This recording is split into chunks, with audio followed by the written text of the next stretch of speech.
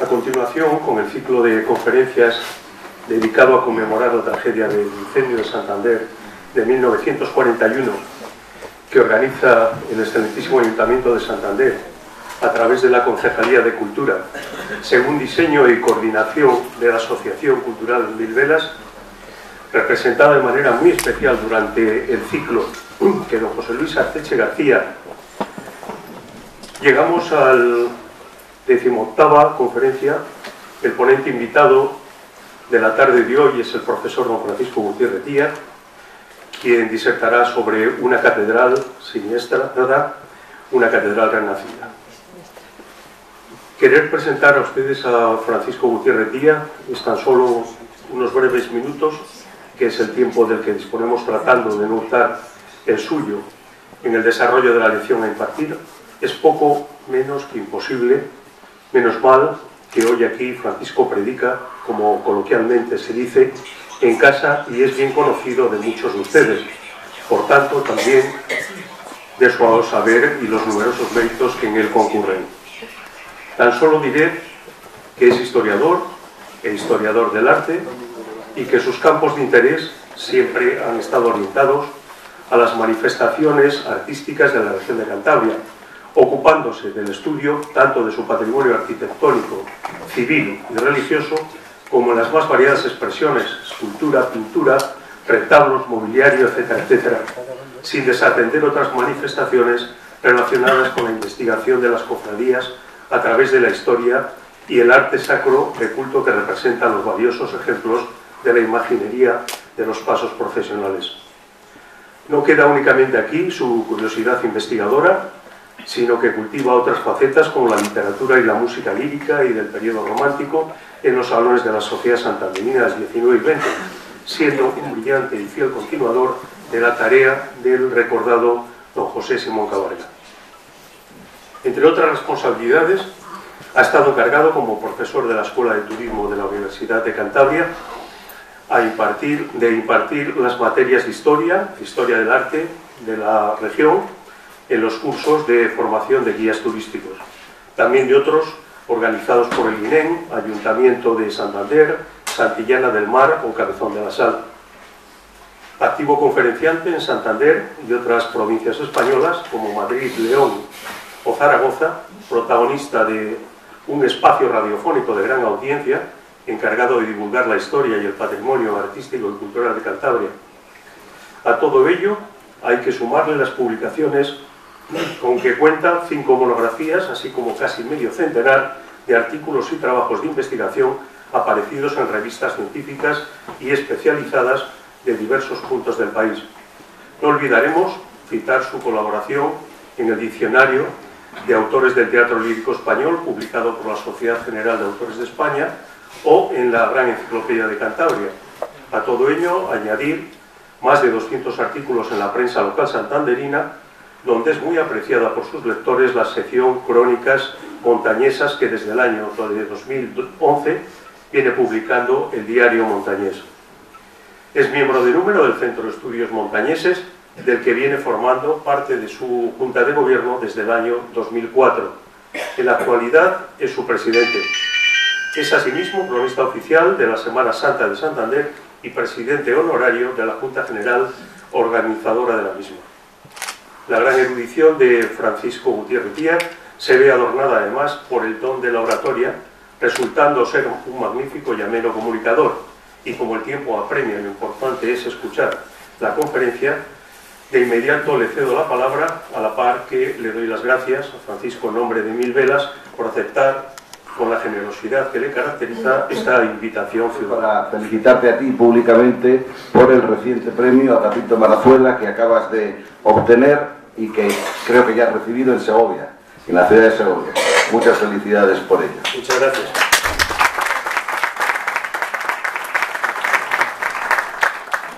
Bueno, y vamos a entrar en materia porque el tema es largo y el tiempo breve.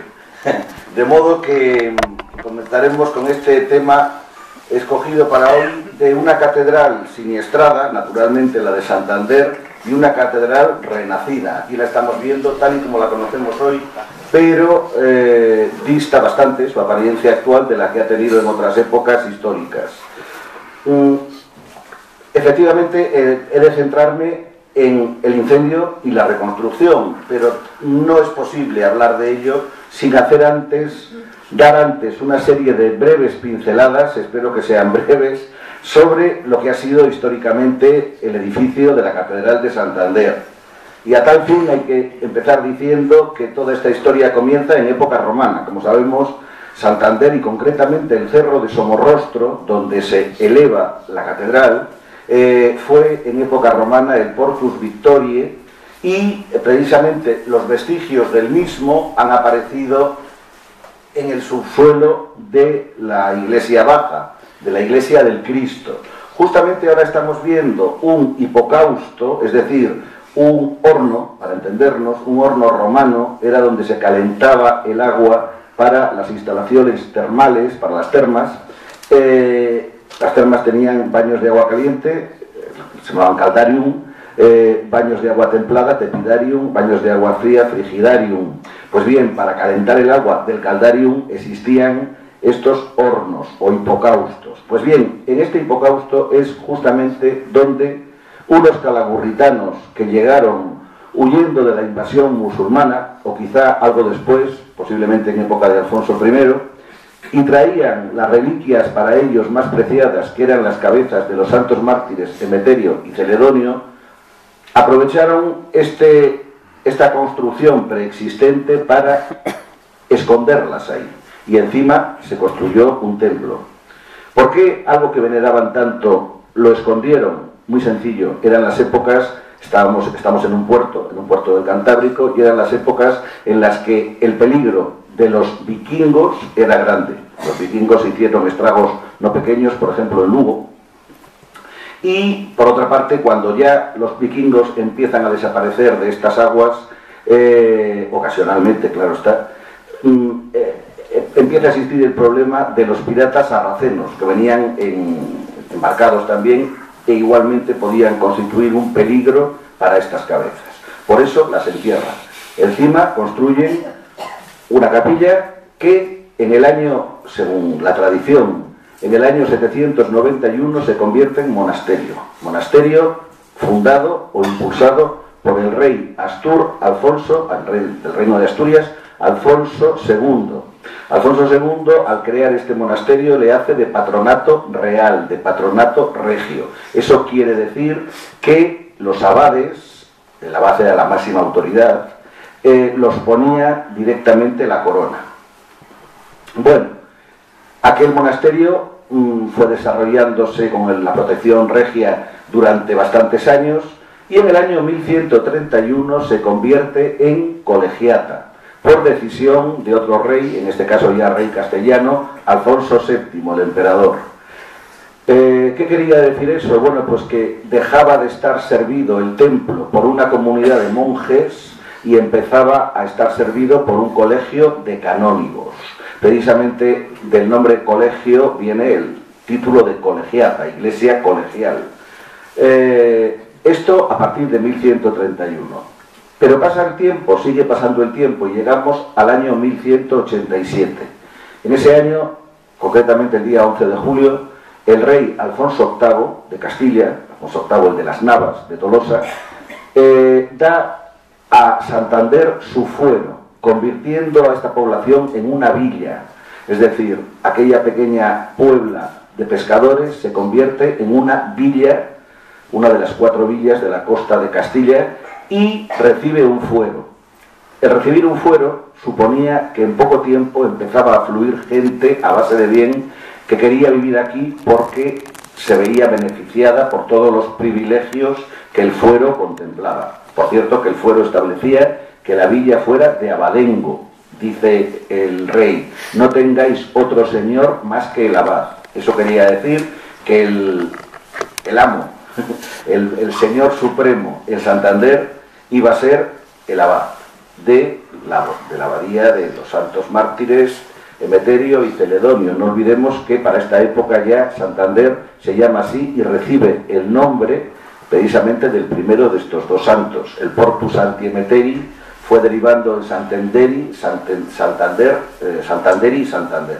Bueno, eh, cuando Alfonso VIII da los fueros, tanto a Santander como a Laredo, San Vicente y Castro, inmediatamente se derriban las viejas iglesias que había en cada una de estas poblaciones y se construyen otras nuevas mucho más grandes. Se preveía esa afluencia rápida de gentes, de modo que se construyen iglesias nuevas en las cuatro poblaciones. Y también se construyen todas un castillo.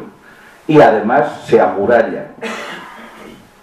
Aquí pasa lo mismo. Se derriba todo lo que había antes, la antigua iglesia, que sería prerrománica seguramente, o quizá existió una románica incluso, todo eso desaparece y se disponen a construir una iglesia de acuerdo al nuevo estilo que va llegando de Francia por esta época, que es el gótico. Pero se encuentran con un problema. Eh, el cerro de Somorrostro era muy irregular en su altura, en sus alturas, y necesitaban una plataforma grande sobre la que construir. De modo que deciden eh, salvar ese inconveniente construyendo en parte del solar, digamos, una iglesia baja que sirva para que encima quede nivelado el terreno y se pueda construir una iglesia alta y el claustro. Eh, el Cristo, que es lo que estamos viendo aquí en esta diapositiva, eh, el Cristo es una iglesia que se la ha llamado muchas veces cripta mal llamada, porque una cripta es un templo subterráneo y el Cristo no es subterráneo nada más que por la zona sur, la que da el claustro. El resto es, está al aire simplemente se construye para que sirva de base a la iglesia grande que se quiere hacer encima.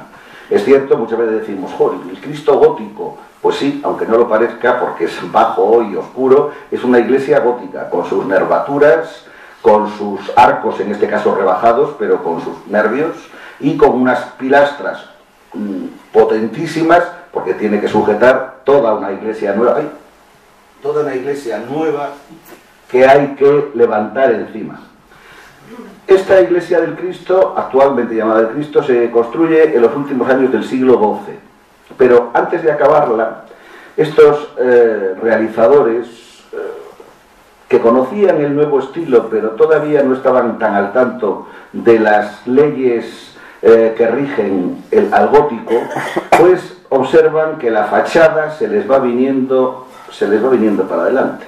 Entonces, ¿qué solución toman? Crear delante un enorme atrio, este que estamos viendo, que sirve de contrafuerte, de gran contrafuerte para sujetar el templo y para sujetar el futuro templo que se va a hacer encima. Precisamente el espacio que quedó encima de todo este atrio se utilizó para palacios del abad. El abad vivía pegadito a la iglesia. Tenía una puerta por la cual salía desde su casa hasta el templo.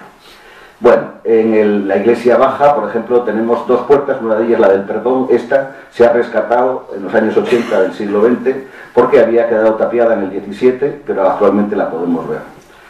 El interior de la iglesia del Cristo, eh, como digo, construida a finales del siglo XII, y sobre ella, sin solución de continuidad, inmediatamente se empieza a levantar la iglesia alta que se está realizando por los años 1225, 1230, por ahí se está eh, llevando a cabo. Se está construyendo la iglesia alta, naturalmente, mucho más gótica en cuanto a que es mucho más esbelta, característica del gótico, tiene dos cuerpos, no tiene triforio, tiene cuerpo de columnas, de, arquerías y cuerpo de ventanas, aunque hay que decir que gran parte de las ventanas fueron añadidas en 1890, en una restauración que se hizo. En principio tenía pocas ventanas la iglesia alta, cuando está eh, acabándose, avanzado el siglo XIII, resulta que también por la zona del oeste quiere vencer el muro.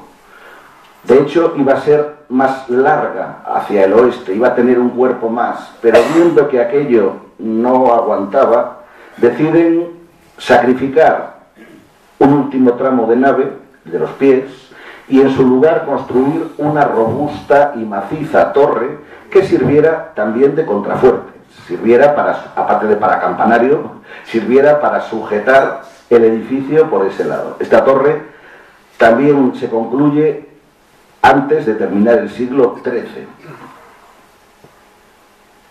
aquí vemos el arco que mm, está horadada en su base porque es necesario atravesar ese arco de la torre para acceder a la catedral. Cuando ya está construida la iglesia baja y la iglesia alta, se procede a la edificación del claustro. El claustro se levanta en los 25 primeros años del siglo XIV. Estamos hablando año 1300 a 1325 aproximadamente. Sin embargo, este claustro no era exactamente como lo vemos ahora, porque la techumbre no era de bóvedas de piedra como actualmente, sino que era cubiertas de madera.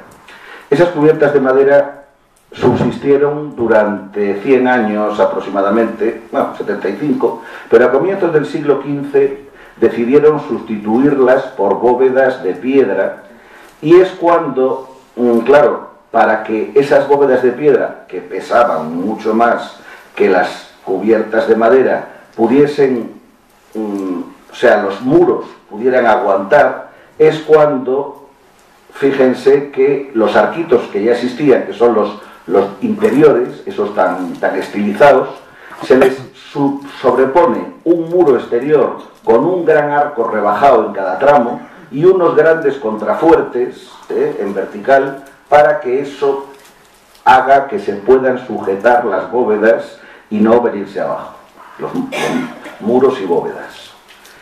De modo que es en el siglo XV cuando se termina del todo este complejo Mm, de iglesias y claustro. Pero claro, pasaba una cosa, en todas las iglesias eh, medievales las familias más destacadas querían tener su capilla. Y en Santander había un problema. Por un costado de la nave no se podían hacer capillas porque estaba el claustro. Y por el otro costado tampoco se podían hacer capillas porque estaban los palacios de la abad. De modo que, solución, las capillas que se levantan durante el siglo XIV y XV se hacen al claustro, van rodeando el claustro. Aquí podemos observar cómo todavía en la actualidad vemos entradas a espacios que en origen fueron capillas, capillas góticas bajo medievales. Bueno, aquí vemos para que observemos cómo en un principio la identidad de dimensiones era exacta entre la iglesia baja y la iglesia alta. Los pilares de la alta están sobre los pilares de la baja y simplemente era una proyección de la iglesia baja en altura. Y vamos a las más antiguas vistas que tenemos de esta iglesia. La más antigua que, con la que contamos es este espléndido dibujo que realizó un dibujante holandés que se llamaba Joris Hoefnagel hacia el año 1570-71 aproximadamente, y donde observamos cómo era una parte de la villa de Santander en ese momento. Es una vista tomada desde el muelle largo que se construyó en ese siglo y que se corresponde, se correspondía a ese muelle largo que salía mucho hacia el interior del mar, con lo que actualmente es la calle del Martillo. ¿eh? Coloquémonos en la calle del Martillo y si miramos hacia la catedral, en aquella época se veía esto se veía, pues, sobre todo agua, porque Santander está ganada al mar mm, en grandes superficies, y lo que se veía al fondo era eh, un montículo bastante elevado, el cerro de Somorrostro, eh, donde estaba el castillo, aquí vemos como la torre del homenaje está ya en ruinas, y junto a él la iglesia.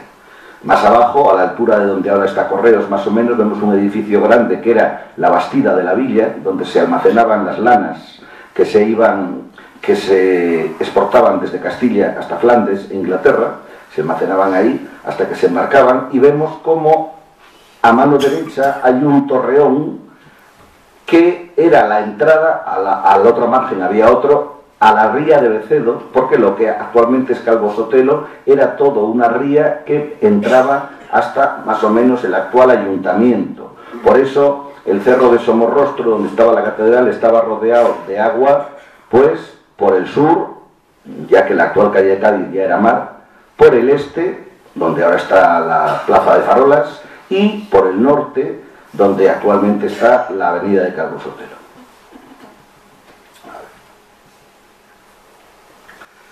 La segunda vista más antigua que tenemos es el famoso grabado de Brown, que en realidad no fue grabado por Brown, es un grabado que realiza un excelente profesional eh, que se llamaba Franz Hohenberg, en Alemania, que eso sí le hace para ilustrar un libro, Civitatis Orbis Terrarum, que se publica en el año 1575 en Colonia y que escribe George Brown. Ahí aparece este famoso grabado, que conocemos como grabado de Brown, donde también se ve perfectamente lo que vengo diciendo de que el cerro de Somorrostro estaba unido a tierra solamente por la parte del oeste.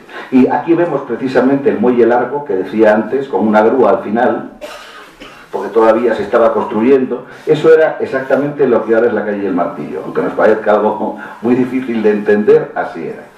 Bueno, esto es una, es una reproducción que se ha hecho en madera de la que se quemó en el incendio del 41, era la puerta del sagrario del primitivo retablo que tuvo la catedral, una obra que hizo Simón de Bueras en 1560 y tantos, 1570, mm, donde muy esquemáticamente reproducían eh, pues cómo era Santander en aquel entonces. Vemos a la izquierda el castillo, a continuación la iglesia, eh, vemos cómo las cabezas de los santos mártires en una masa de nombres van a entrar por el boquerón, que es esa unión de las dos torres que daban acceso a la ría de Becedo y se ve la ría, el puente y al fondo una estructura muy larga que eran las atarazanas. Bien, en el siglo XVI y XVII el abad ya no vive en sus palacios y por lo tanto se pueden derribar. De modo que se empiezan a construir capillas familiares eh, por ese lado de la iglesia. Una de ellas es la pongo como ejemplo, es la más importante de todas, por esa parte del Evangelio, que es la capilla de los Riva Herrera. Lógicamente, estas estructuras que se hacen nuevas ya no son góticas, ya son renacentistas y barrocas, porque los estilos han cambiado. Concretamente estamos viendo la cúpula sobre pechinas de la capilla de los Riva Herrera, que es esta magnífica capilla que mm, es de las más destacadas artísticamente que se hicieron entonces. Es eh, diseñada por Juan de Naveda, un buen eh, arquitecto montañés de la época que trabajó también mucho fuera de Cantabria. Aquí vemos la cúpula con los escudos de la familia, etc. En el otro lado, en el lado que da al claustro, también se empiezan a construir capillas porque la presión de las familias era grande. ¿Qué se hace ahí? Pues comer un pedacito a la nave de la iglesia y comer un pedacito al claustro y así sale hueco para hacer capillas. Por ejemplo, esta es una de ellas, la de Azonios, la capilla de la familia Azonios y Escobedo, que estuvo dedicada a San Antonio y que se realiza en 1660 y tantos. Por lo tanto, es una capilla de estilo barroco. Esta es la cúpula que tiene. Bueno, avanzando en el tiempo, nos encontramos con que a mediados del siglo XVII, cuando se están haciendo las últimas capillas familiares, aparece por Santander, o es nombrado abad de Santander, un prelado, tenía título de obispo, obispo de Auren, que se llamaba don Pedro Manso de Zúñiga. Pedro Manso de Zúñiga fue uno de, los que más luchó porque Santander se convirtiera en cabeza de obispado, independizándose de Burgos, y que esta iglesia se convirtiera en catedral. Pero él, con buen acuerdo, entendió que para que esta iglesia se convirtiera en catedral había que darle aspecto catedralicio. De modo que interviene con muchas obras nuevas, intentando enriquecer la iglesia, y una de ellas es justamente esa puerta que veremos al fondo. A ver, lo que es el arco gótico naturalmente es antiguo, es del siglo XIII, pero esa puerta rectangular con el friso que tiene encima y el tímpano de estilo completamente barroco, ¿eh? la parte interior de lo que vemos aquí, eso es parte de la intervención que se realiza a instancias de don Pedro Manso de Zúñiga. Ahí aparece su escudo, aparece el de la Biblia, aparece la, la imagen de Nuestra Señora de la Asunción, en fin, esos florones típicamente barrocos. Otra intervención que introdujo en la iglesia don Pedro Manso y que hoy en día desgraciadamente ya no existe fue el coro de madera con su correspondiente trascoro, que estaba situado, como es tradición en las catedrales españolas, en medio de la nave, ¿eh? en medio de la nave. Es verdad que eso para las actuales exigencias del culto entorpece, pero es la tradición española y no hay más que ir a la Catedral de Toledo, por ejemplo, a la de Burgos, a cualquiera de las grandes catedrales españolas, para ver que el coro está en mitad de la iglesia.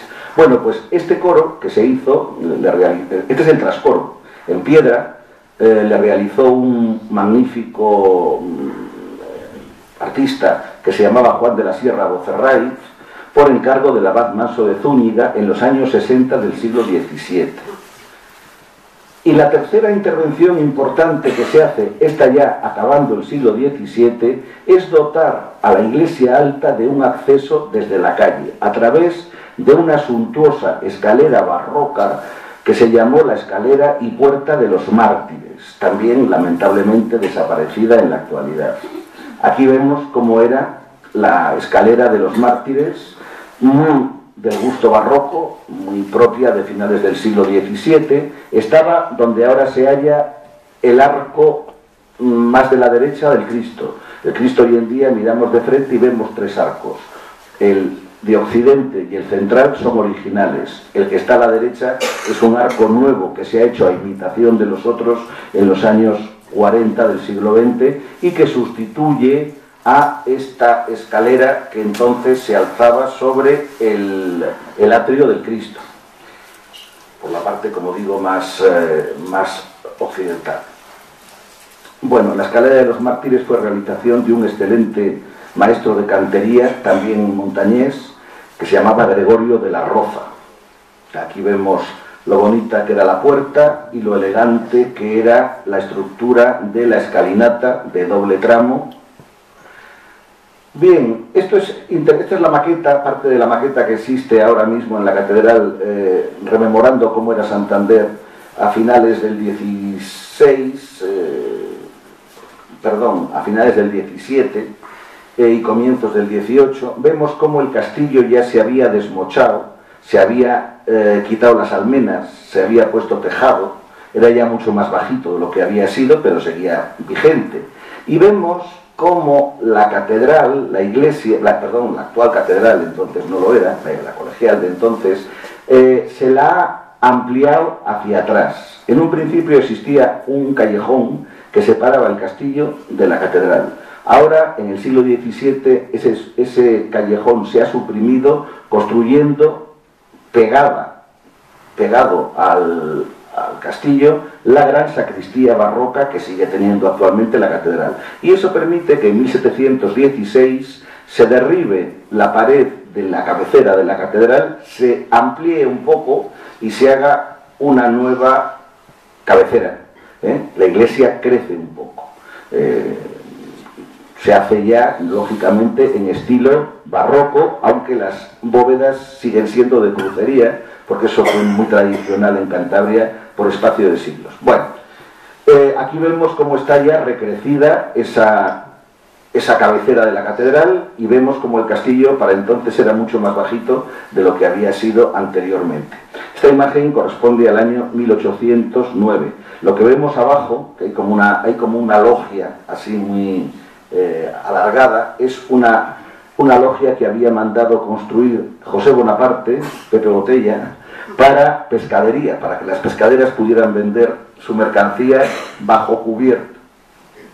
Para este momento ya se ha logrado lo que se pretendió durante tanto tiempo. Para este momento ya la iglesia es catedral. Empezó a serlo en, en, diciembre, el día 12 de diciembre de 1754, cuando el Papa Benedicto XIV elevó, o sea, creó la diócesis de Santander y elevó a esta iglesia colegial a la categoría de catedral, convirtiendo al mismo tiempo al último abad, Francisco Javier de Arriaza, en primer obispo de Santander. Ya se convierte en catedral, a los pocos días el rey Fernando VI eleva a la villa al título de ciudad, Santander se convierte en ciudad, al poco tiempo también se consigue el libre comercio con América, se acababa de abrir el nuevo camino harinero de Castilla, eso hace que Santander en pocos años, entre 1755 y 1800, crezca de una manera espectacular, pero realmente espectacular. Bueno, esto es una vista de cómo era eh, a finales del 18 la catedral en su interior. Y esta imagen es interesante, estamos ya a finales del 19, es interesante porque fíjense cómo al crecer tanto la población, la catedral ha quedado embutida entre casas. No sobresale más que el remate de ella. Todo lo demás está rodeado de edificaciones por todas partes. Eso jugó en contra de que se viera el mérito artístico de esta iglesia.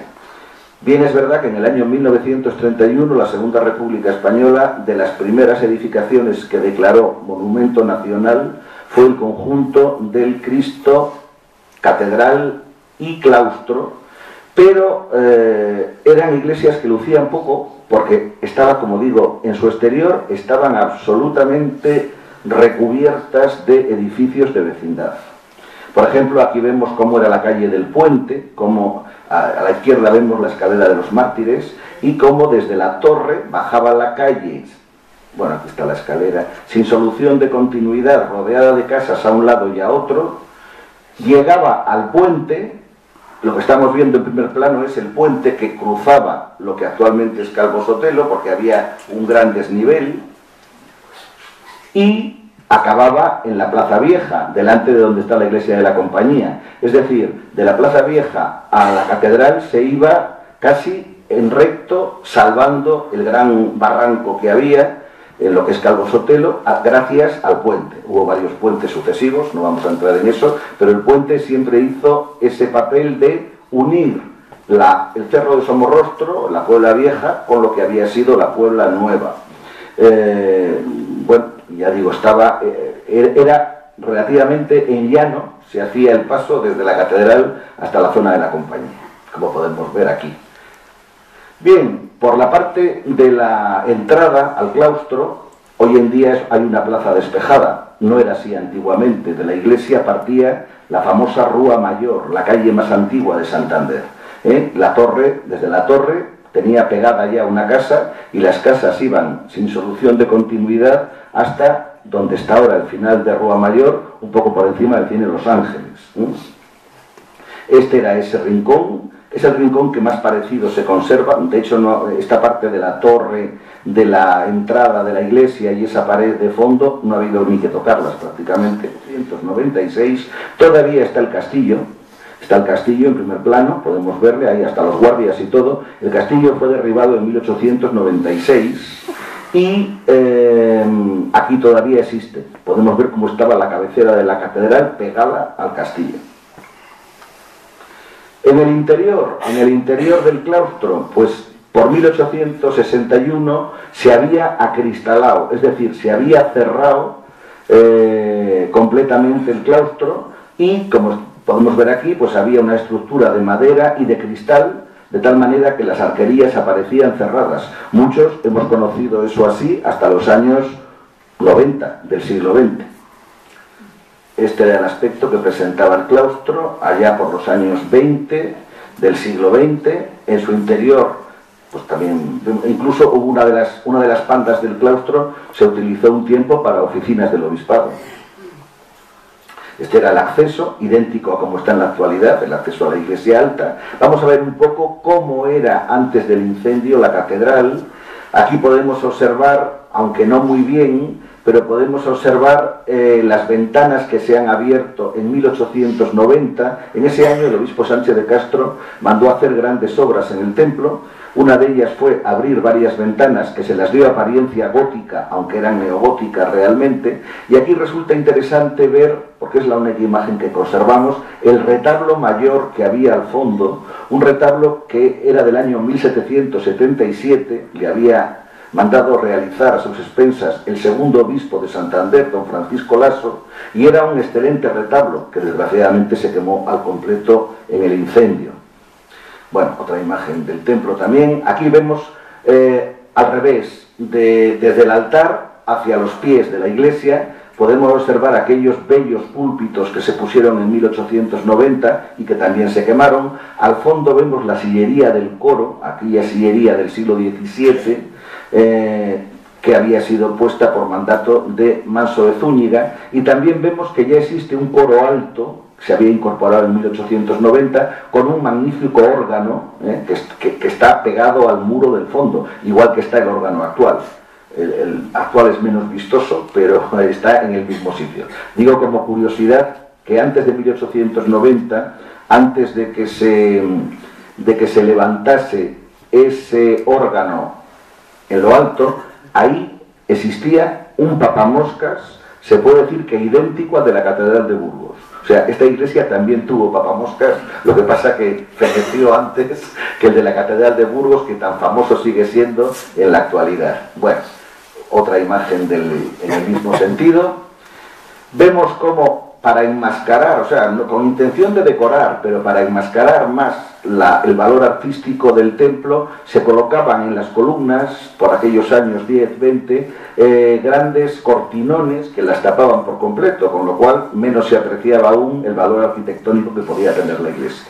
Y aprovechando que en esta imagen se ve la capilla de los Riva Herrera, ahí al fondo, eh, aprovecho para decir que es la única de la catedral que en el incendio no sufrió. Así como el resto de la iglesia se calcinó, esa, capilla tuvo la suerte de conservarse intacta. Y por eso el, sepulcro del obispo Sánchez de Castro, del año 1922, espléndida obra de Daniel Alegre, le vemos ahí mal, porque está la cosa está muy clarito, pero y ahí sigue estando en la actualidad exactamente intacto. E incluso un cuadro que se ve ahí también, que estaba en esa capilla, ahora ya no está en esa capilla, está enfrente, pero se conserva en la actualidad también intacto del todo. Es un cuadro del Eceomo del siglo XVII, que ahora está al lado de una de las puertas de la iglesia, pero que hasta nos demuestra hasta qué punto esa iglesia, ese, ese trozo, esa esquina, esa capilla de los Riva Herrera, se salvó de la quema generalizada. Bueno, más vistas de la nave, mm, la nave mm, de la epístola. Aquí vemos eh, también lo que hemos visto antes, el trascoro, aquel hermoso trascoro de Juan de la Sierra. Al fondo vemos uno de los retablos rococós del siglo XVIII que tenía la iglesia y que ardió. Este estaba dedicado a San Juan de Pomuceno ardió completamente en el incendio. Es este mismo retablo que vemos aquí, un retablo que tenía magnífica imaginería de Jerónimo de Argos, pero que todo ello se quemó. También vemos una especie de templete funerario con un escudo que era de la familia Olivares del siglo XVII. Eh, estaba ese muro exactamente es el que hoy en día eh, acoge el mausoleo de Marcelino Menéndez Pelayo, para que nos hagamos una idea. Bueno, este era el aspecto que tenía la catedral 15 días antes del incendio, o sea, inmediatamente antes. Vemos que para esta época se había desmochado casi todo lo que había sido Cerro de Somorrostro, donde estaba el castillo. Se había, eh, vamos, aniquilado y se había allanado. Ahí estuvo, eh, después de tirarse el castillo, el famoso Salón Pradera, donde se hacían espectáculos más o menos verduzcos que no hacían mucha gracia a sus vecinos los canónigos. Eh, cuando se derribó el Salón Pradera, en los años 20 se construyó la sucursal del Banco de España, que sigue en su sitio, y detrás de ella una calle, la calle Obispo Plaza, que también sigue vigente hoy. Pero se reservó un hueco bastante grande de lo que había sido eh, el castillo, de lo que, del solar que había ocupado el castillo, previendo con el tiempo recrecer la catedral, o sea, volver a tirar la cabecera ya por segunda vez y ganar un buen espacio porque el templo lo pedía, y sobre todo la, ciudad de Santander ya tenía mucha gente como para necesitar una catedral más grande. Pero no hubo que esperar, porque el incendio se encargó de hacer lo que, lo que se pensaba y más. Aquí vemos a la mañana siguiente de aquel infausto 15 de febrero de 1941 cómo quedó la catedral. Si nos fijamos en la zona alta, vemos que la parte de la cabecera conserva el tejado. Sin embargo, de media iglesia hacia la torre se ha hundido todo el tejado, se han hundido todas las bóvedas. Al entrar esos leños ardiendo, caer al suelo de la catedral, han propagado por el interior el incendio y casi todo el templo, retablos, imaginería, eh, vidrieras, todo prácticamente ha sucumbido. Felizmente, bueno, la catedral también fue responsable, tanto el tejado de la torre como el tejado de, la nave central de la catedral que se hundieron, fueron responsables de parte de la crudeza que tuvo el incendio de Santander. Porque al ser un viento sur tan fuerte y prenderse los maderos multicentenarios que estaban encima de las bóvedas de la catedral, formando la techumbre, salían disparados esos, esas teas y caían en cualquier otro sitio donde generaban un nuevo foco de incendio. La catedral, de alguna manera, escupió fuego en todas las direcciones, si bien es verdad que su mole de piedra sirvió para salvar, para preservar a los edificios que más cerca tenía, como fueron el edificio de los juzgados, hoy en día derribado, pero que aquí se ve, como fue la famosa casa que hemos conocido todos pegada a la catedral, como fue el Banco de España, como fue Correos, todo eso se salvó al amparo de la catedral. También hay que decir que fue una enorme suerte, aquí vemos más vistas de aquel desastre, eh, una enorme suerte la gran potencia que tienen las pilastras y bóvedas de la iglesia del Cristo, porque resistieron las toneladas de escombros que había encima, en el suelo de la catedral, perfectamente, de tal manera que la iglesia del Cristo salió incólume, no sufrió nada. También salió incólume el claustro, porque tampoco aquellas bóvedas mm, cayeron. Y, e igualmente, por suerte grande, se salvó la sacristía del siglo XVII y gracias a eso se preservaron los ornamentos litúrgicos, algunos muy antiguos y muy valiosos, los cantorales, los, las alhajas, las custodias, eh, vasos sagrados, etcétera, todo eso se preservó porque la sacristía tampoco se quemó. Lo que se quemó fue la iglesia alta y la torre. Bueno, más imágenes de estos de los primeros momentos de este desastre en, el interior de la iglesia, pues aquí vemos perfectamente cómo cayó todas las bóvedas y techumbre de la zona más a los pies de la iglesia. Todo encima de aquella sillería del coro del siglo XVII que se destruyó por completo. Aquí vemos cómo quedan restos de rejas, que por cierto luego se reaprovecharon y todavía en distintas partes de la catedral hay pedazos de esas rejas hoy en día. Los restauró eh, los talleres Cervera. Bueno, pues como se ve, el desastre es mayúsculo. Han caído los nervios, han caído las bóvedas, han caído las claves. Sin embargo, es curioso porque muchas veces, es una curiosidad, muchas veces se dice que todas las campanas se fundieron. No es cierto, porque observen como hay todavía un par de campanas de la torre están en su sitio. Bueno, además eh, los, los pilares se abombaron, los muros o sea, muchos sillares se calcinaron, los muros también sufrieron abombamientos, se creó una situación de gran peligro. Por ejemplo, una de las claves principales que había en la nave mayor, que representaba a San Fernando, se vino abajo y se pudo preservar, así quedó, y hoy en día subsiste, está en el claustro, en el museo que hay en el claustro. La pena que actualmente le falta otro pedazo más, si se dan cuenta eh, aquí, hoy, aquí estaba más completa, todo el redondel, y sin embargo, en la actualidad,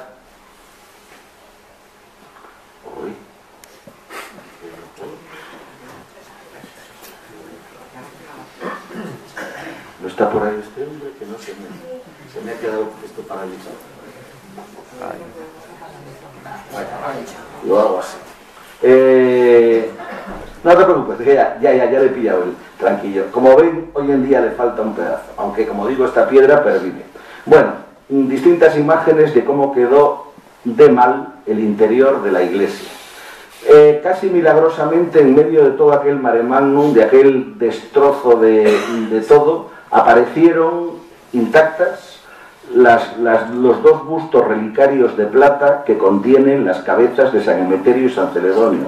Estos dos bustos relicarios habían sido hechos en Burgos en el año 1532, cuando en Santander se habían hecho excavaciones, habían aparecido los cráneos en el hipocausto que antes les enseñé, y entonces ya se habían sacado a la luz. En 1532 ya no había peligro de, piratas.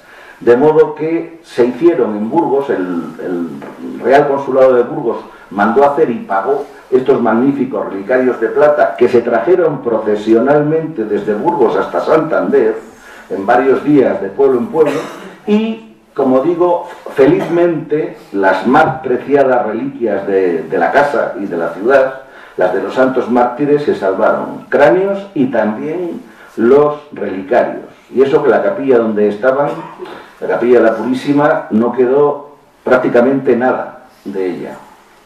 Bien, desde el arco del Cristo pues se ven estos destrozos de la ciudad, esta es la subida a la torre con todos los edificios que había en la calle del puente desaparecidos, Tampoco tenía muy buen aspecto la zona eh, entre la torre y la entrada al claustro. Observemos de cantidad de escombros por todos sitios. Eh, precisamente en la hornacina, en la hornacina que hay, que pueden observar ustedes ahí en alto, hubo durante siglos una imagen de la Virgen María que aguantó al incendio. Hoy en día en, ese, en esa hornacina eh, está este San Pedro, que es un San Pedro moderno, aunque quiere imitar, digamos, románico, pero está hecho en el año 1945, pero la imagen, que es esta, es de lo más valioso que la catedral hoy en día conserva y de lo más antiguo. De hecho, es la imagen más antigua que la catedral ha poseído y que todavía conserva. Ahora mismo está en el Museo de la Torre de la Catedral. Es una imagen eh, seguramente inglesa, típicamente gótica del siglo XIV y de gran mérito que está muy estropeada porque estuvo a la intemperie varios siglos, pero que precisamente al hallarse metida en esa hornacina de piedra, eso le sirvió para salvarse de las iras del fuego. Aquí vemos la parte posterior de la catedral, del claustro, cómo quedó también pues, en muy malas condiciones. Eh, bueno, de hecho, por ejemplo, se ven ahí dos arcos que son restos del Hospital de Santi Espíritus, un hospital que en el siglo XIV fundó don Nuño Pérez de Monroy, abad de la catedral, y que eh, eh, era un hospital que acogía a pobres peregrinos, había desaparecido hacía mucho, pero al quemarse el obispado que estaba ahí situado, aparecieron restos de las estructuras más antiguas que habían existido. Bueno, pasan unos días después de aquel huracán e incendio y llegan, lo que suele pasar siempre después del sur, en Santander, llegan unas lluvias terroríficas. Con aquellas lluvias, como pueden ver aquí, media torre de la catedral se viene abajo o sea, segundo desaguisado. La torre que había resistido, se había comentado mucho, mucho en la prensa de, finales del 19, comienzos del 20, se habla mucho de la estabilidad de la torre en la catedral, que si corre peligro, que si no corre. Al final se hizo un informe oficial de que resistía.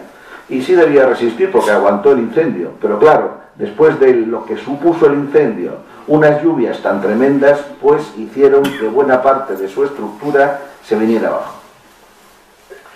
Ya unos días después que se hace el desescombro de las casas de alrededor, podemos ver aquí muy bien cómo efectivamente estábamos en un cerro, estábamos en un altozano, el cerro de Somorrostro, ahora todo esta, todos estos zonas que vemos delante de la iglesia no existen porque fueron eliminadas. Ahora está ahí la calle Lealtad, está la calle Emilio Pino, está la calle Isabel II, que van llanas. Para eso hubo que retirar toneladas, hubo que cortar el cerro, igual que se había cortado en su día por la parte del castillo de San Felipe, pues se cortó entero por la zona oeste para abrir esas calles y unir la ciudad con el puerto. Se hace en los años 40. Eh, precisamente todo el material que de ahí se retiró se aprovechó para echarlo en la curva de la Magdalena, que antes no había posibilidad de ir al sardinero o sea, tú podías llegar al Palacio de la Madalena, pero no podías seguir por allí al Sardinero. Entonces todo este material se tiró allí y se consiguió mm, una planicie, un altozano que permite eh, hacer una curva que desde la Madalena tengas acceso directo al Sardinero. Bueno, en el interior, ¿qué se hace? Eh, la iglesia ha sufrido muchísimo, ha sido realmente un episodio muy traumático. Se hace una encuesta entre santanderinos en los días siguientes. Los santanderinos, que nunca nos hemos caracterizado por nuestro amor a las antigüedades, la mayor parte dice, no hombre, no, lo mejor es tirarlo todo, todo absolutamente, allanar el cerro entero y hacer una catedral nueva desde abajo. Claro, eso suponía cargarse todo el pasado histórico y todas las reliquias históricas que ya eran escasas, que existían en Santander. Por suerte, ni el obispo Erino Itrecu, aunque no era cántabro, eso lo tenía muy claro, ni los más eh, cultos de la ciudad estaban dispuestos a semejante disparate.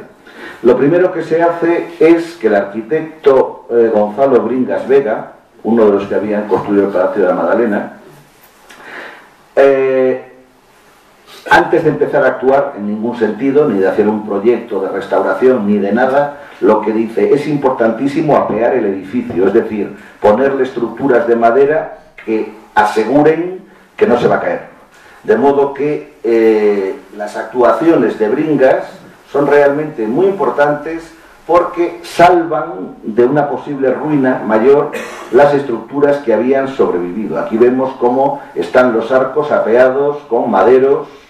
Eh, bueno, pues aquí incluso esto que vemos en primer plano, que es una de las pilastras del siglo XVIII que, formaron la cabecera nueva del XVIII, ya no son las columnas góticas fasciculadas del resto del templo, sino que, sino que son pilastras cajeadas. Bueno, pues ahí está eh, asegurada con un verdadero andamiaje de maderos. Eh, yo siempre digo que en la reconstrucción de la catedral se hicieron cosas buenas, se hicieron cosas regulares, se cometieron algunos errores y se hicieron tres pecados gravísimos desde el punto de vista del arte. O sea, si en el arte existiese lo del pecado, eh, pues de los pecados más gordos se cometieron tres. Uno de ellos fue suprimir este trascoro bellísimo del siglo XVII de Juan de la Sierra. Yo comprendo que el sitio donde estaba, pues para los nuevos tiempos litúrgicos estorbaba, pero hombre, se tendría que haber trasladado a otro sitio y haberse aprovechado. Y no que las piedras se, se desmontó y las piedras fueron a parar a la cantera de monte donde habrán sucumbido con los años totalmente. El escudo, este que había dos escudos, uno este y otro al otro lado, uno de ellos se salvó y está en la catedral, ya luego diré dónde, pero realmente fue un verdadero dolor que se perdiera esta obra tan hermosa del barroco eh, al reconstruir la catedral. Aquí vemos otra imagen de la misma. Bueno, este es el plano de lo que se va al final a hacer.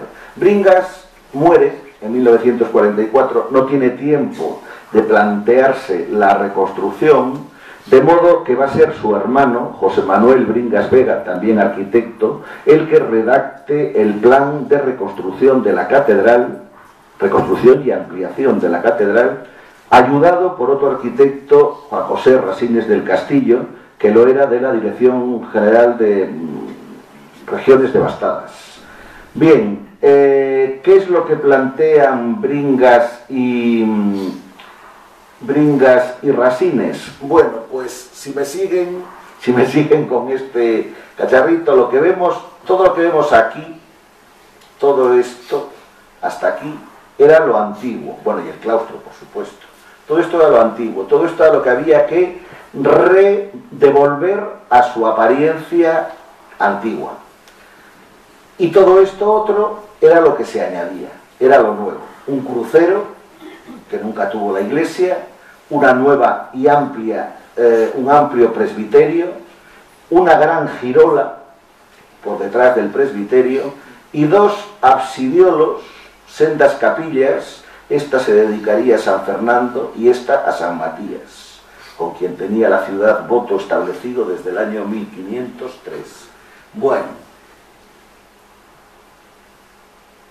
este es el, dibujo que presenta Bringas de eh, cómo planteaba él la reconstrucción. Lo antiguo era todo lo que había por aquí, todo esto, para allá, lo antiguo. Todo esto es lo nuevo que se va a hacer.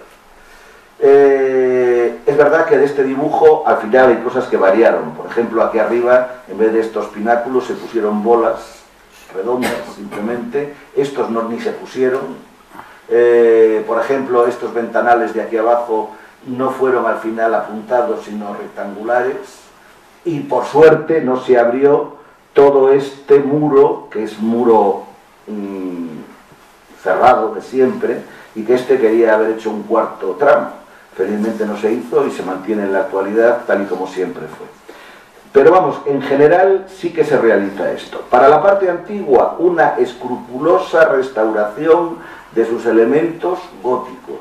Y la nueva se plantea alternando elementos góticos y renacentistas, de tal manera que no se pueda producir confusión en quien ve la obra y se dé cuenta que es una obra nueva. En la parte nueva, por ejemplo, todos estos elementos como estos son claramente clasicistas, propios del Renacimiento, eh, o los ventanales que acaban en medio punto también. Eh, bueno, y sin embargo, bueno, por supuesto las pirámides, por supuesto las bolas, todo eso es típico del Renacimiento. Mientras que eh, las bóvedas de crucería o, las, em, eh, o los arcos apuntados son propios del gótico. Es una mezcla de gótico y renacimiento muy acertada, por cierto, muy estética. Aquí lo peor de todo es que se plantea y se realiza el que para mí es el segundo pecado gordísimo que se cometió aquí, que es suprimir la escalera barroca que estaba aquí, la que hemos visto varias veces, suprimirla y crear en su lugar un tercer arco, ¿eh? un tercer atrio con arco como los dos que ya existían. Ahora veremos cómo esto se fue llevando a la práctica. Bueno, esto es lo mismo, no merece la pena. ¿De qué manera se plantea el trabajo? Pues muy sabiamente, a ver, había un problema grandísimo, que era que de los capiteles labrados, las ménsulas, eh, todos los elementos que eran artísticos, gran parte estaban calcinados, se conservaban en el suelo, donde habían caído, pero te acercabas a ellos y se convertían en polvo. De modo que era importante actuar sobre el terreno, no moverlos. De modo que se decide montar en el propio claustro un taller de cantería que dirigió un espléndido cantero, que fue el que dirigió todo esto durante varios años, se llamaba Tomás Quintana. Eh, no, perdón, Tomás Quintana no, se me ha ido la cabeza al fotógrafo, no era Tomás Quintana, era eh, Tomás Carrillo. Tomás Carrillo va a ser el cantero que realice todos los trabajos artísticos de reposición de lo perdido. ¿Para eso qué se hacía? Pues se iba donde estaba el elemento que había que reponer. Se le echaba encima escayola. Una vez que ya estaba conseguido el molde, ya aunque se deshiciera el elemento, quedaba el vestigio perfectamente. Esa escayola se positivaba y luego sobre la escayola positivada se labraba un nuevo capitel, una nueva ménsula, lo que fuera, copiando idénticamente lo que había sido el elemento suprimido. Eso se hizo en, en todo lo que fue necesario. Aquí vemos en el claustro ese taller de cantería funcionando a todo funcionar. Vemos cómo en algunas columnas, en bastantes columnas, fue preciso sustituir eh, sillares enteros, piedras enteras, porque estaban calcinadas. Aquí vemos en esta como la segunda hilada es nueva y la tercera todavía no está puesta, pero también tuvo que ser nueva porque las anteriores se habían deshecho, se habían calcinado. Aquí vemos cómo se reconstruye una de las ventanas. Eh, por ejemplo, las gárgolas. La catedral tenía y tiene en el exterior, encima de los pilares que separan cada arco del Cristo, arriba de todo, tenía tres gárgolas. Gárgolas que curiosamente no eran originarias de la catedral, esas gárgolas habían estado en la iglesia de las Clarisas de Santa Clara, donde estaba ahora el instituto. Y cuando se derribó, la iglesia gótica de las Clarisas, se decidió aprovechar las gárgolas en la catedral, pero claro, quedaron muy estropeadas con el incendio.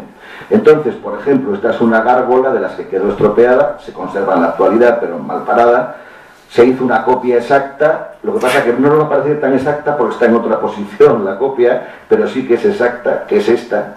Entonces la copia se coloca en su sitio y el original en este caso se pudo salvar y está en el claustro en plan museo, tal y como había sido. ¿Por qué razón?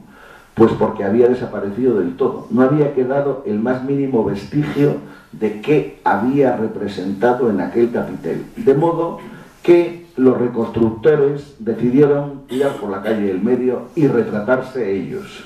De tal manera que en este capitel vemos a la izquierda precisamente a José Manuel Bringas Vega, a la derecha vemos a uno de los aparejadores, a Seibane, Seibane, observemos cómo entre los dos sujetan un plano donde se ve la catedral.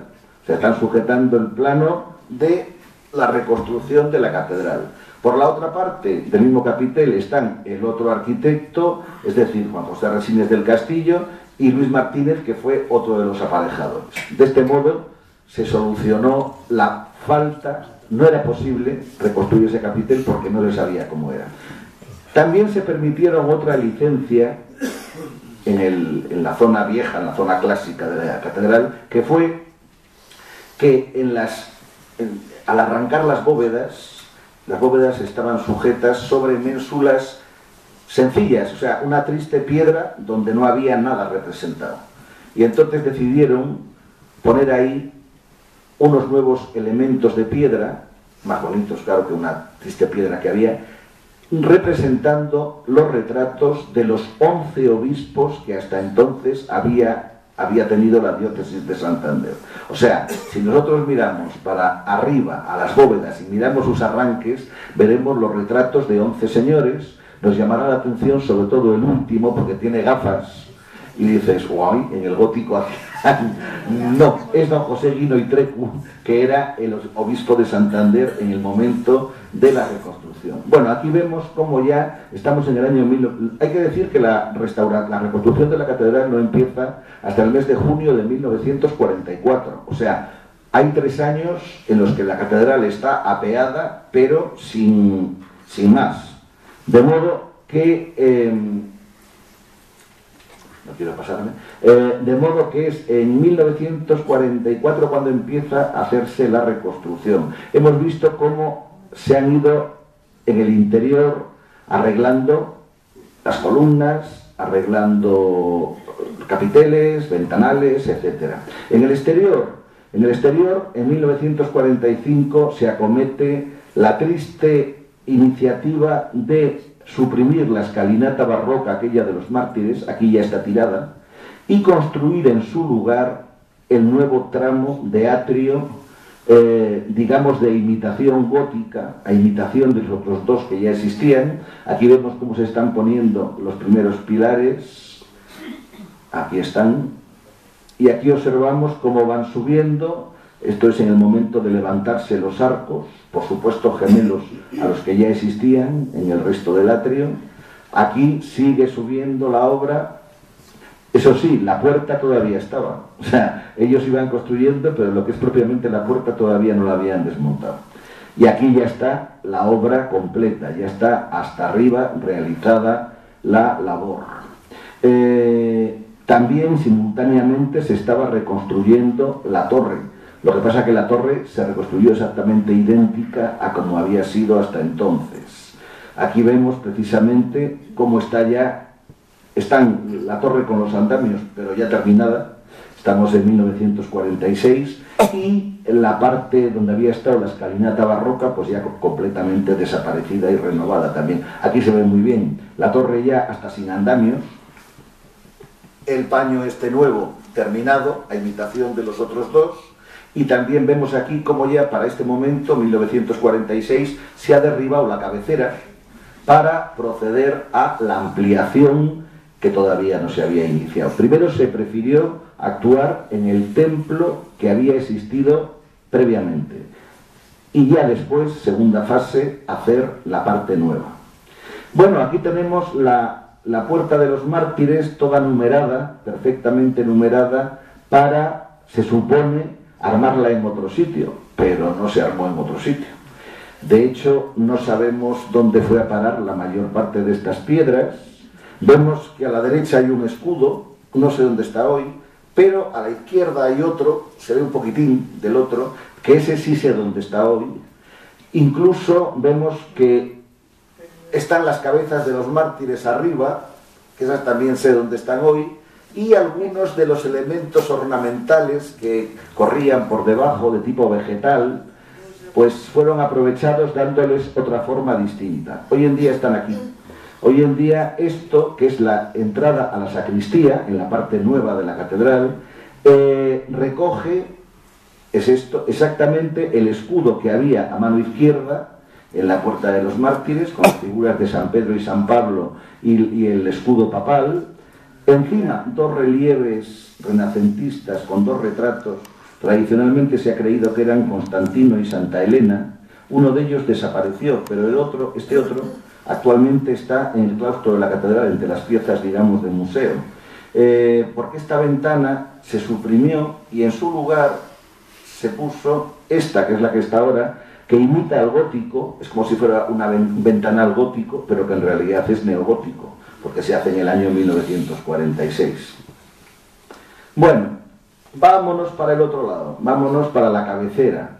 Aquí en la zona de la cabecera vemos, esta era la bóveda eh, de la antigua cabecera, la que se había construido en 1718, eh, era de tradición gótica, porque aquí el gótico duró muchísimo, sin embargo, los arcos, los arcos que sustentaban eran de medio punto y eran cajeados, algo propio de la arquitectura del siglo XVI y XVII y XVIII, o sea, de época renacentista y barroca.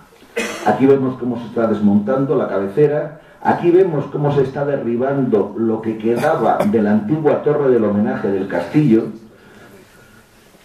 y bueno, pues en, en, 1946 el aspecto que tenía por este lado la catedral era este había que empezar a proceder a la ampliación. Lo que vemos aquí a la izquierda, esto es el muro de la sacristía y aprovecho para decir que este muro, este pedazo de muro es lo único que queda del castillo. O sea, esto era parte, esta pared era parte del castillo medieval y en esta pared se apoyó la sacristía de la catedral cuando se construyó en el siglo XVII. Bueno, estas imágenes nos sirven para ver cómo se va actuando en la zona que está delante, donde se va a levantar, aquí ya vemos que están construidos los cimientos de hormigón armado de lo que va a ser la el, el crucero, cabecera y girola.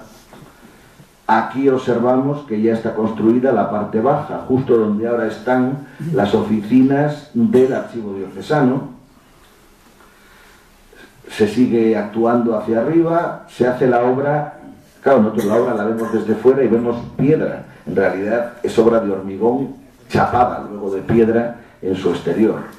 Bueno, distintos aspectos de cómo se va llevando a cabo. Aquí vemos cómo ya está construida gran parte de la estructura, las torres, las torres de esquina ya están completas, lo que pasa que falta todavía lo que es el crucero, el cimborrio y la cabecera del altar mayor, que tenían que llegar a tener la misma altura, lógicamente, que la, que la de la iglesia antigua. Aquí ya está.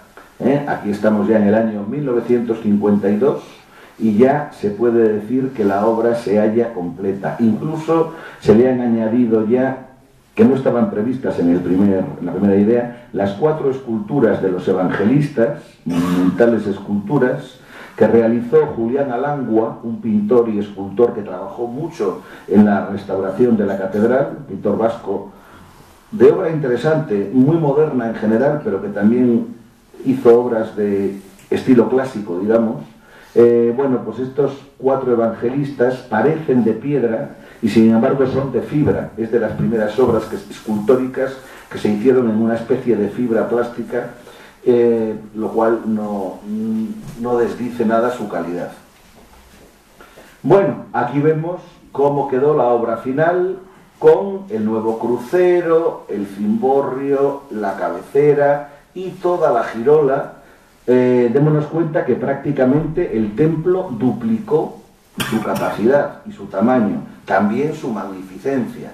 Hay que decir que es la obra de, de Bringas, de Bringas más que nada, pero bueno, vamos a decir de Bringas y de Resines, es una obra realmente acertada. Aquí vemos por dentro el cimborrio con ese, esos regustos goticistas por un lado y clasicistas por otro, que hacen que cualquier, que cualquier persona que pueda ver la obra se dé cuenta que es obra del siglo XX, porque previamente nunca se había mezclado esos elementos, pero que no rompen con la unidad y con el estilo, con el ambiente de la iglesia clásica.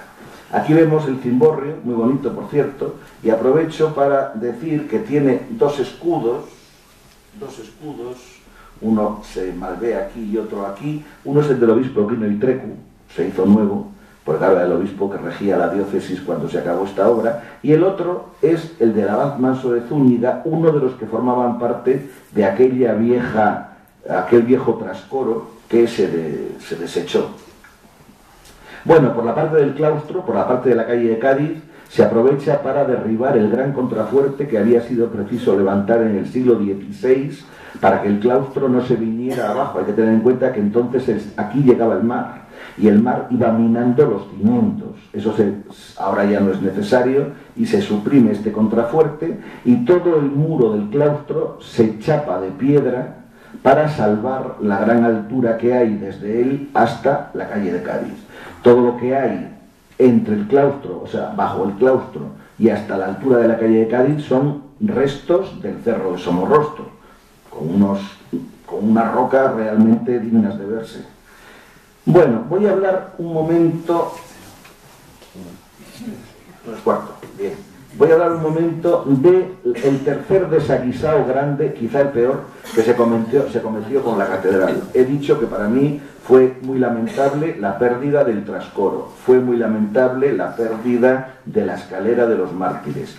Y la más lamentable quizá fue la pérdida de la mejor capilla que tenía la catedral, que era la capilla de Santiago o de los Escalante, una obra gótica del siglo XIV que estaba donde justamente está ahora la parte izquierda del obispado. ¿eh? Donde está el obispado, se entraba por el claustro, tenía también salida a la calle, era una capilla que podía estar exenta, era una iglesia prácticamente, magnífica, de, factura. Cuando se quemó se estropeó mucho, pero hay que decir que se dio totales seguridades al Centro de Estudios Montañeses, hay documentación arriba a base de bien que lo certifica, se dio todas las seguridades al centro de que esa capilla se iba a salvar. Se dieron seguridades por parte de todas las autoridades. Al final, cuando ya estaba acabado todo el trabajo en la catedral a finales de 1952, o sea, ya habían pasado años, de la noche a la mañana, la capilla fue derribada y perdimos uno de los mejores recintos artísticos que había en Santander. La disculpa, pues que si no el obispado quedaba pequeño. Eh, esta era, en su interior, la capilla, la puerta que vemos ahí era la que le comunicaba con el claustro, la puerta todavía existe hoy en día en el claustro eh, vemos cómo había dos arcosolios, eran, bueno, muy esbelta, desde luego, había dos arcosolios donde estaban enterrados don Juan Gutiérrez de Escalante, todavía se conservaba su escultura yacente, y aquí había estado el bulto de su señora que ya se había perdido por la época del incendio. Eh, bueno, unas espléndidas bóvedas góticas y sobre todo en este claustro había una serie de ménsulas donde se retrataban todos los tipos que podían encontrarse en Santander, bueno, y en Castilla en el siglo XIV, el mercader, el rabí, el judío, el pescador, que estaban hechos con una enorme perfección. Aquí vemos dos de ellos, ¿eh? de gran calidad, y que aunque algo sufrieron con el fuego, se conservaron pues bastante bien. Esta era la clave de la bóveda, una enorme clave con el escudo de los Escalante. Bueno, de esta capilla que queda hoy, esta clave sí que queda, está en el claustro de la catedral, puesta claro, boca al revés de como está aquí, para que se vea el león, eh, queda eso, la, la clave principal en el museo que está establecido en el claustro, queda la lauda de una hija de Juan Gutiérrez de Escalante, María Gutiérrez de Escalante, esta también se conserva en el claustro. También están allí algunos, algunos, algunas de las ménsulas con los retratos de estos señores que he citado, pero lo que es curioso es que el sepulcro de Juan Gutiérrez de Escalante y las mejores ménsulas que había, nunca más se supo de ellas desde el año 1952 no sé dónde irían a parar. Bueno, la catedral se reconstruye, pero claro, la catedral estaba vacía, se había quemado prácticamente todo su mobiliario y todo su arte. Eh, voy a decir nada, cuatro cosas sobre las principales sustituciones que se hicieron. El retablo mayor, como se había quemado aquel antiguo, se adquiere uno nuevo, no nuevo, un retablo que es del siglo XVIII, de comienzos del siglo XVIII, y que hasta entonces estaba en la iglesia de San Juan Bautista de Tamarid de Campos, un pueblo de la provincia de Valladolid. Se compra a Tamarid, se trae a Santander, se dora por completo, porque era un retablo que estaba en blanco. Cuando se dice está en blanco, estaba sin dorar, sí que estaban policromados los relieves. Es curioso porque este retablo, cuando se hizo en el 18, se ve que reaprovecharon relieves de un retablo anterior, porque tanto este de aquí, donde está el bautismo de Cristo, como este de aquí, que es el nacimiento de San Juan Bautista, como estos de aquí, con la anunciación, la visitación, etc., son del 16 en realidad, incluidos en un retablo del 18. Aquí lo que se hizo fue dorarle y entiéndaseme, partirle. Partirle quiero decir, era un retablo plano. La cabecera nueva de la catedral hace ángulos, de tal manera que hubo que partir las calles y separarlas, abrirlas. ¿Qué otra cosa se hace en él? Claro, el retablo estaba dedicado a San Juan Bautista, pero aquí tenía que estar dedicado, lo uno, a la Asunción, que es la patrona de la iglesia, y a San Emeterio y San Celedonio, que son los patrones del, del pueblo y de, la iglesia también. De modo que se suprimen las imágenes que tenía, la de San Juan Bautista, San Zacarías, Santa Isabel, que estaba San Juan en medio, San Zacarías a un lado, Santa Isabel a otro, yo las he visto en fotografía, esas se suprimen, y en su lugar Julián Alangua, imitando maravillosamente el estilo barroco del retablo, crea una nueva imagen de Nuestra Señora de la Asunción, año 1950, y las dos imágenes de San Emeterio y San Celedonio, que talmente parecen originales del retablo, pero que no lo son. Son imágenes hechas, como digo, a mediados del siglo XX. Bueno, en tiempos más recientes se le han añadido también a esta parte de abajo, que quedaba un poco sosa, se le ha añadido un precioso relieve del siglo XVI representando la adoración de los magos procedente de Fombelida, de un pueblo de Cantabria. Ampliarlo. Bueno, debajo la sillería de coro que se trajo de San Jerónimo el Real. Uy, que esto va muy deprisa ahora. Es que ha cogido ritmo. Ha cogido ritmo. Ahí está.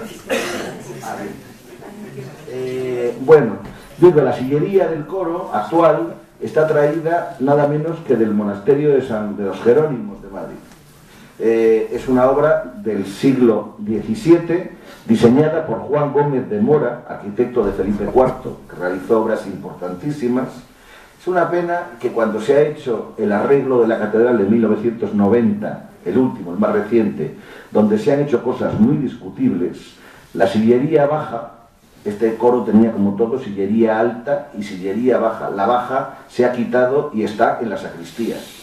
Pero es una pena que una obra unitaria como es una sillería de coro ahora esté la mitad en la iglesia y la mitad en la sacristía. Es de estilo clasicista totalmente, como era habitual en la corte de Felipe IV. y magníficamente trabajada, eh, aunque muy sobria, muy, digamos, muy escurialense, muy herreriana.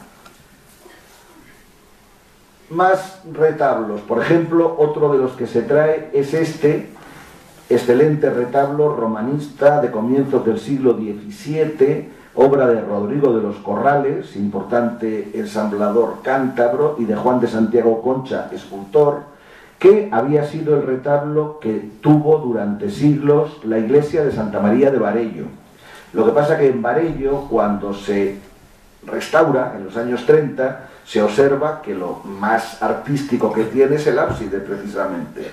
Y ese precioso ábside de piedra estaba tapado por el retablo lo cual no tenía mucho sentido. Pues bien, el retablo acaba en la Catedral de Santander. Se prefieren obras antiguas a realizaciones nuevas. Otro retablo que acabó también en otra de las capillas de la catedral es este, del siglo XVIII, de estética rococó, procedente del Santuario de la Bien Aparecida, en Marrón.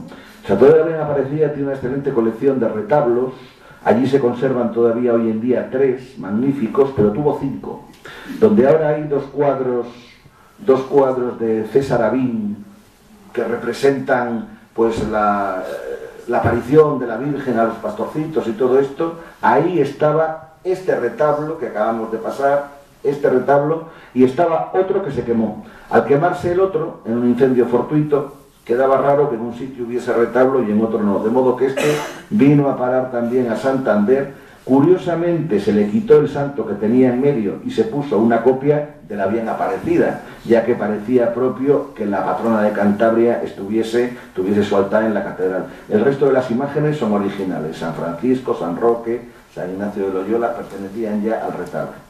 Otro retablo que se trae también, muy valioso por cierto, este que se adquiere a la Catedral de Palencia. Este estaba en una capilla de la Catedral de Palencia se compra en el año 53 y se trae, se restaura. En aquel entonces el cuadro estaba tan oscurecido y, además cubierto como con una especie de pintura blanca que no se sabía ni lo que había ahí.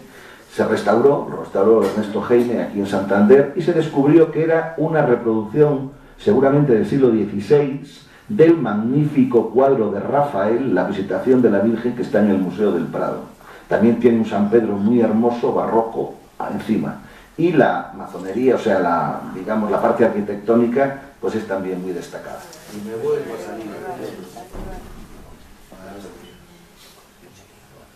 Bueno, cosa curiosa. Este es el planning de la inauguración oficial, de la reinauguración oficial de la catedral. 8 de diciembre de 1953, con asistencia del entonces jefe del Estado Francisco Franco.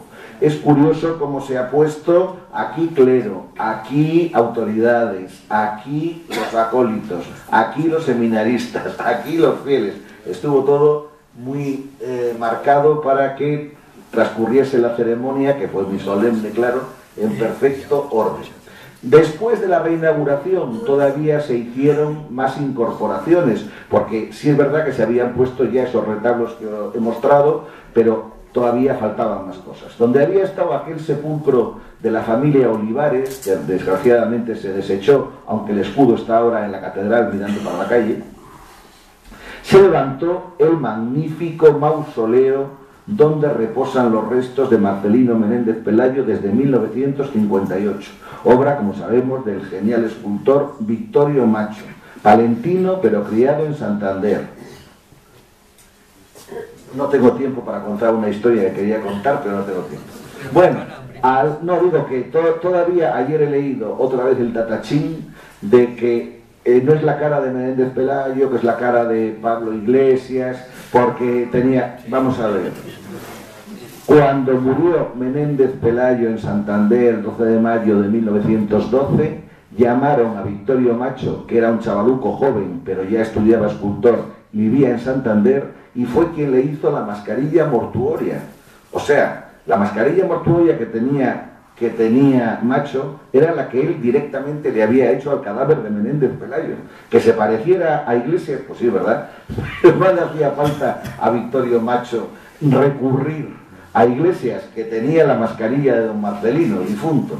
Bueno, con ese grupo de la piedad en bronce que está encima, tan original, tan propio de, Victorio Macho, eh, digamos con la Virgen sujetando los brazos de su hijo de tal forma que formen una cruz, a pesar de que es un Cristo ya desclavado, claro. Y al otro extremo, en el otro lado del crucero, pues este, esta tribuna de cantores donde se aprovecha para pintar un enorme mural casi eh, neocubista, cubismo, cubismo figurativo, que realiza el pintor Cataluña Miralles. Cataluña, José Cataluña Miralles fue profesor muchos años de dibujo en el instituto, fue el que me dio a mí, sin ir más lejos, a las clases de dibujo. Pues este gran mural que quiere reproducir la construcción de la catedral en el siglo XIII es una obra de Cataluña, incorporada en el año 1959. También en 1959 se incorpora todavía otro retablo más y otros elementos que no os cito, ¿eh? porque sería muy largo, fieras, eh, en fin, más cosas. Este retablo es el único que hay en la catedral hoy en día que no fue traído de otro sitio, sino que se hizo nuevo. Este es ex novo, hecho expresamente para esta capilla, que es la, de los, la que fue en otros tiempos de la familia de la Puebla. Eh, es una obra de un escultor coruñés que se llama, se llama, se llamaba o se llama, no sé si vive todavía o ha muerto ya, Manuel Cajide Fernández, eh, que se inspira en el barroco gallego. Por eso es un retablo algo raro para lo que nosotros podemos ver aquí. Él se inspira en el barroco gallego, eh, realiza el retablo, los relieves que tiene relativos a San Isidro Labrador, la Inmaculada y San José, y la estatua, la efigie del Sagrado Corazón. Todo esto es obra de Cajide. El retablo le regaló la SAM, y entonces por eso está San Isidro Labrador arriba. Al retablo se le han añadido en época reciente una copia de la Virgen del Mar, parecía lógico que en la catedral estuviese la patrona de Santander, una talla del siglo XVIII de San José con el Niño Jesús, muy maja por cierto, y abajo una copia que ha costado hacerla porque está muy bien hecha y es muy exacta del Lumen Crucis de Santo Toribio, porque también parecía propio que en la iglesia que es cabeza del obispado estuviese la reliquia más universal que tenemos en Cantabria. Bueno, esta es la catedral después de la reconstrucción y cuando ya se derriba el juzgado y se crea la plaza de la Asunción o de Atarazanas tal y como la conocemos. Pero todavía con esta casa que todos hemos conocido, que cayó en los años 80, que ahora está ahí el solar más bien feo, pero que eh, se asegura, a mí me lo aseguró en persona el que fue alcalde nuestro hasta hace unos días, me lo estuvo comentando hace dos meses, que ya se va a proceder a realizar ahí las excavaciones. Hay que tener en cuenta que ese suelo puede haber realmente vestigios incluso de la época romana y las que quisieron hacer en su día, José Luis Casado y Joaquín González Echegaray, y no pudieron, pues se van a hacer ahora y a continuación dar una solución definitiva a esa parte, porque la escalinata que baja donde viajes Altamira es de obra malísima, eso desdice de la catedral y todo eso se va a suprimir, eh, en fin, para darle un aspecto también adecuado al resto del entorno, a esa parte que cojea un poco. Esta es la catedral recién restaurada, no exactamente como está ahora, porque ya he dicho que en los años 90 hubo otra intervención, a mi entender no muy afortunada, por ejemplo se suprimieron todas estas lámparas, nada feas que había, pero eso es lo de menos. Para mí lo peor fue el dividir la sillería y llevarse por delante los, las rejerías que había, las rejas que había eh, con sus ambones, con águilas, que eran excelentes y estaban, sí, reconstruidas por los talleres Cervera, pero tal y como habían sido antiguamente, tengamos en cuenta que el testimonio de que dos águilas servían parambón de lectores en la catedral nuestra ya existe en 1324, me parece que es. O sea, que ha habido siglos y siglos y siglos de ambones con sus águilas hasta que nos las han quitado hace 15 años. Eh, bueno, imágenes, por lo tanto, de la catedral casi como está hoy, aunque en realidad son eh, imágenes anteriores a 1990. Bueno, y acabar diciendo que es muy complicado acercarse, por supuesto aquí no he citado muchísimas obras artísticas que existen en esta iglesia, pero que hoy no era posible citar porque se haría eterna la charla, eh, me conformo con que hayamos visto un poco lo que fue la iglesia antigua, lo que el incendio produjo, cómo se abordó la restauración y cómo se hizo la reconstrucción, por, o sea, la ampliación, mejor dicho. Porque se ha dicho muchas veces, ah, en la Catedral de Santander ya no queda nada original. Sí, sí. Prácticamente el 80% de lo antiguo, arquitectónicamente hablando, sigue estando en su sitio. Bien, es verdad que hay algunas piezas sustituidas, pero idénticas a las antiguas. Y lo otro es obra nueva, pero obra nueva que tampoco ha destruido elementos preexistentes importantes, ya que es obra nueva que se ha hecho fundamentalmente en espacios que fueron del castillo y no de la iglesia. Bueno, pues muchas gracias por haber tenido la paciencia de escucharme.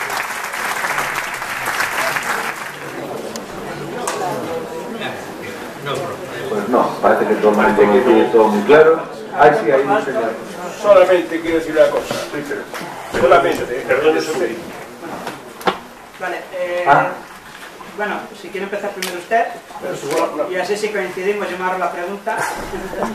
bueno, pues buenas tardes, muchas gracias por la conferencia.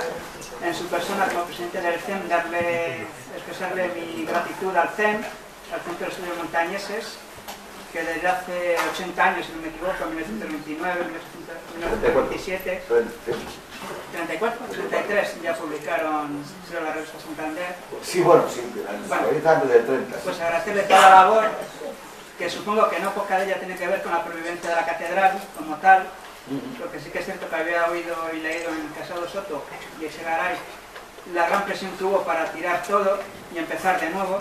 Como he dicho, que nunca hemos tenido ningún cariño bueno, que tal vez he oído que ese muro supuestamente de contención romano simplemente es un muro que no vale nada, de hace 50 años.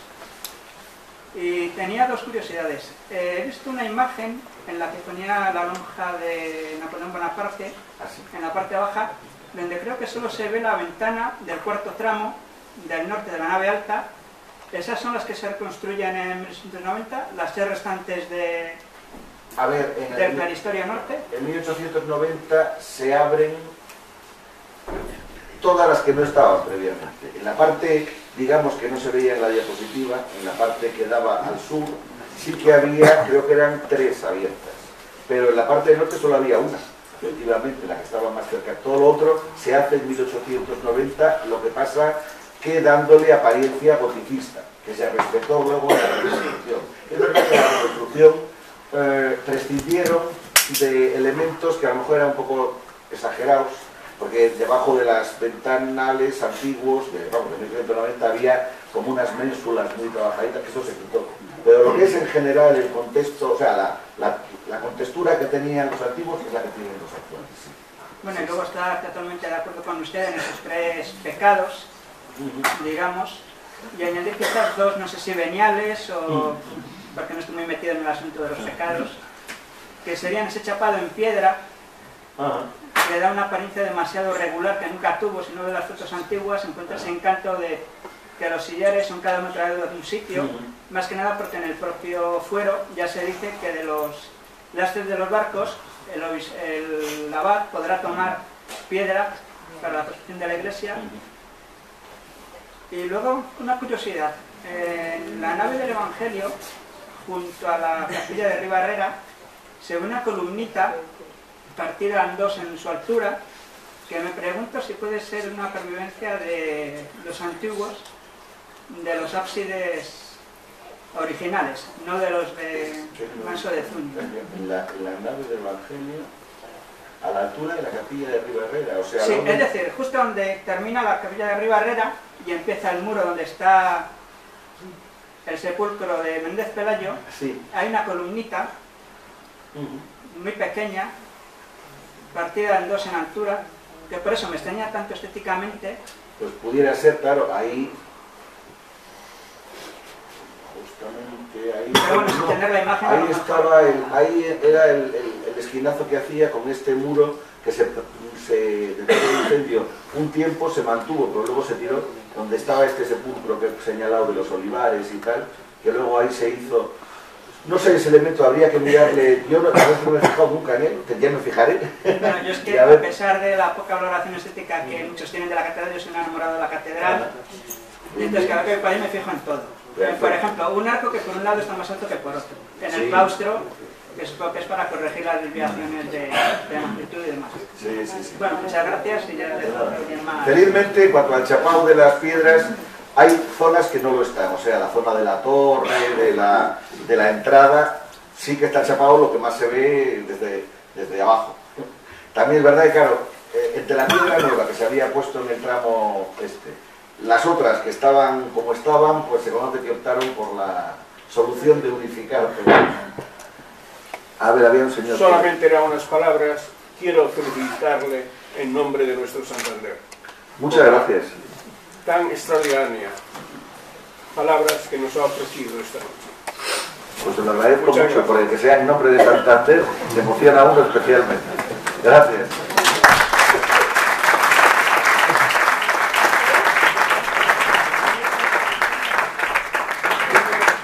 Recordarles que la próxima conferencia se desarrollará en el eh, Real Club de Regatas, aquí en la Plaza Pombo, y tratará sobre eh, los falsos mitos y leyendas sobre la Catedral de Santander.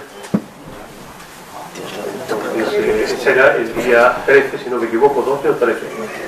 Eh, el 12 eh, a las 7 y media en el Real Club de Regatas.